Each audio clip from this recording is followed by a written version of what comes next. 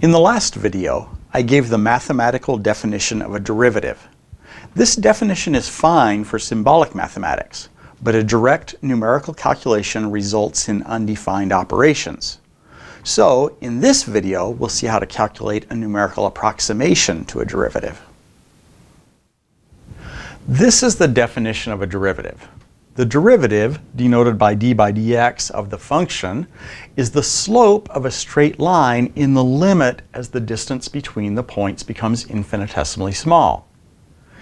Letting delta x go to zero is allowable in symbolic math, as long as there are no sudden changes in the value of the function. However, if we directly try to substitute a value of zero for delta x in this equation, both the denominator and the numerator become zero.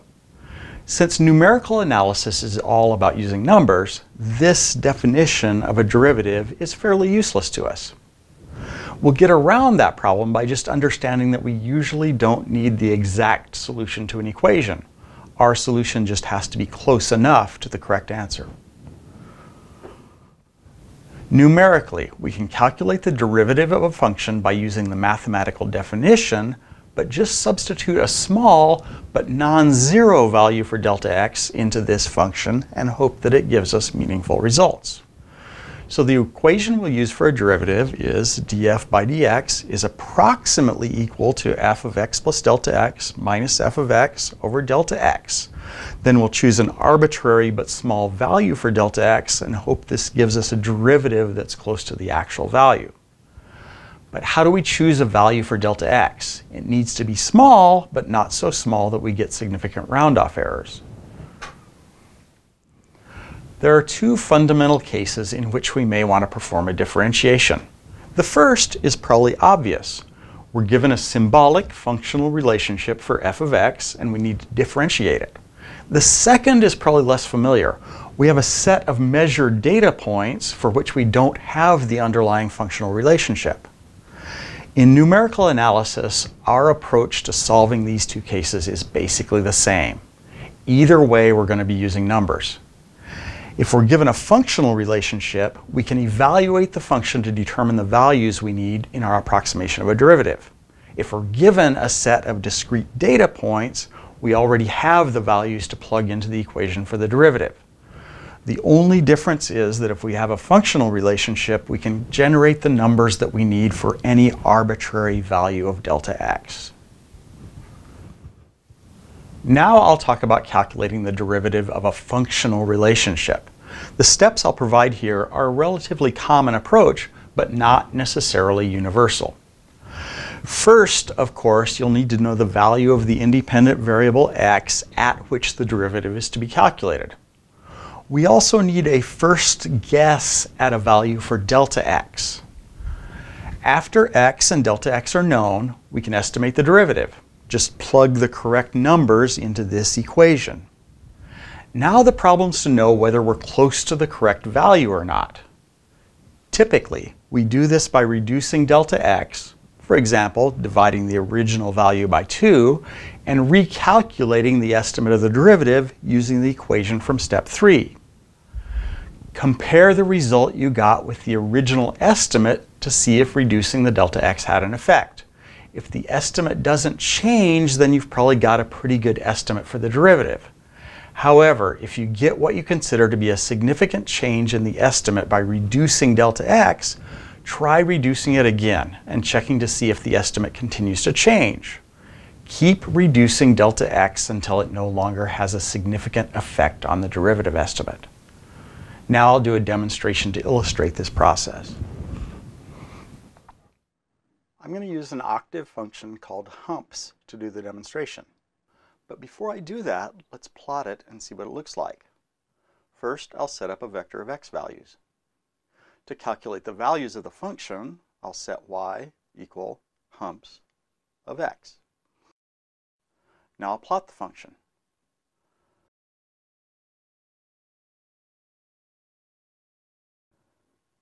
I'm going to estimate the derivative of the function where x is 0.4.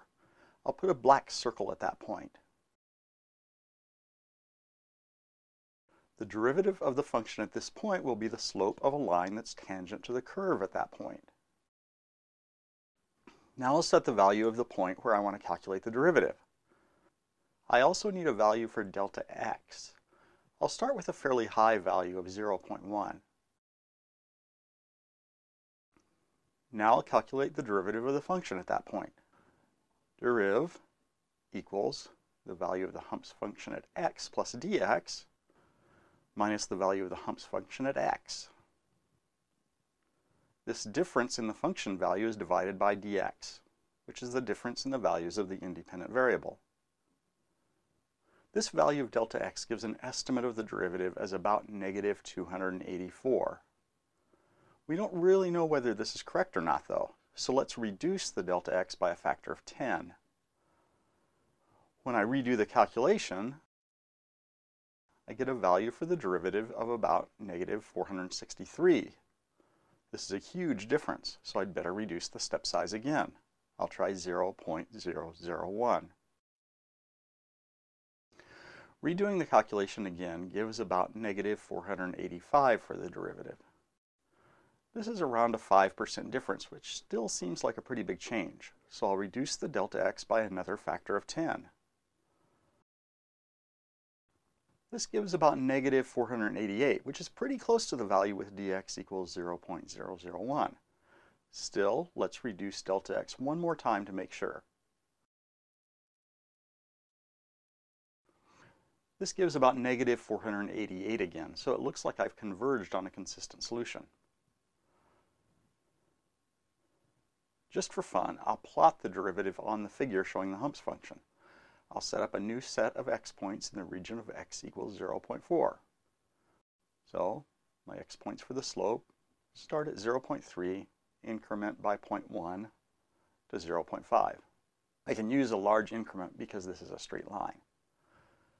Now calculate the line passing through x equals 0.4 and with a slope given by the derivative that I calculated. So it's going to be the value of the humps function at x plus the derivative, which is the slope, times the x values in slope underscore x minus the x value 0.4. Now I'll plot this line on the previous figure.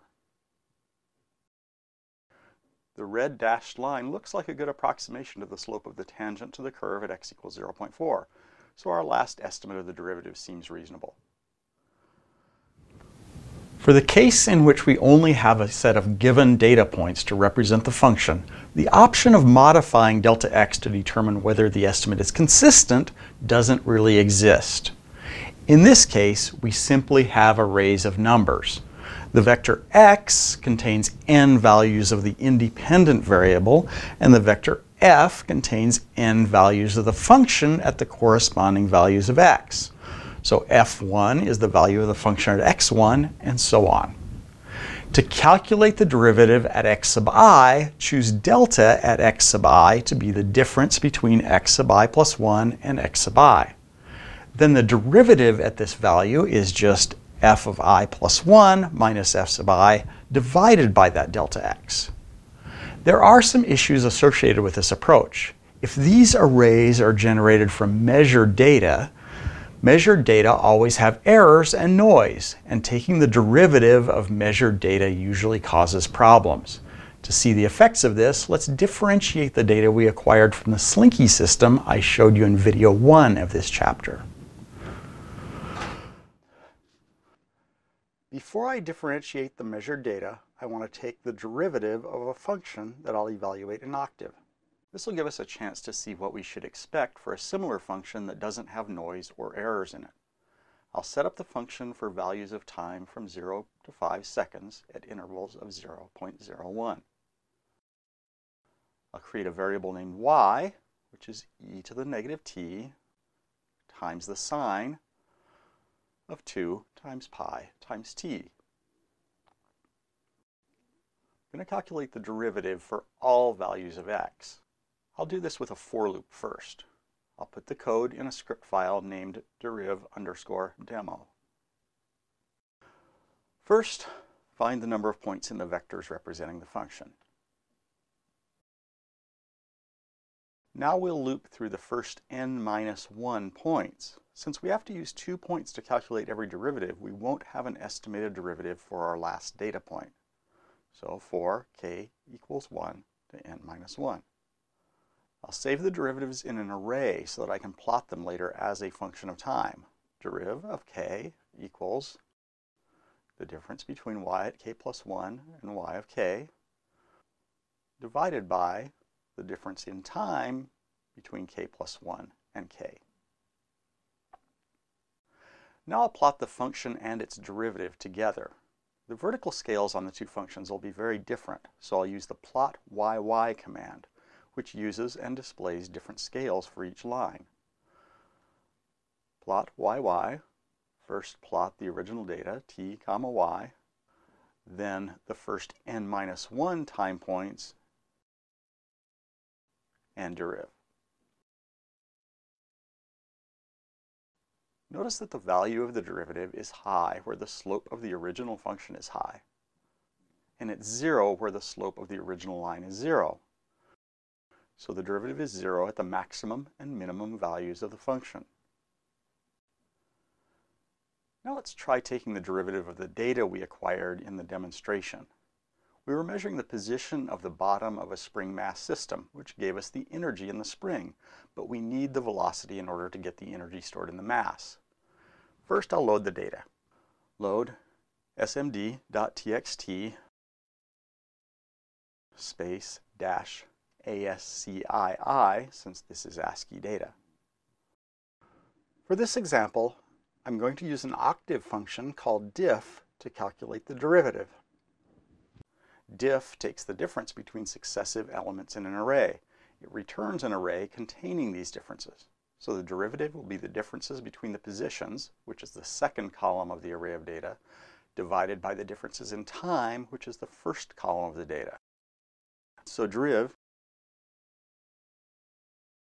is equal to diff of SMD, all the rows, second column, dot slash, I need an array operation here, diff of SMD of colon, comma, 1 for the first column of the array.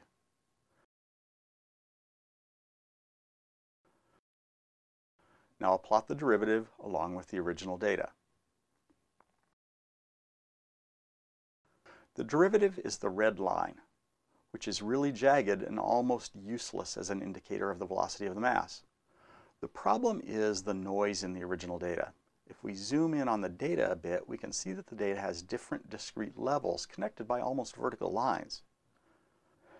This is because of the digital nature of the sensor I used. The sensor only outputs certain discrete levels, which are determined by the number of bits available to represent the data.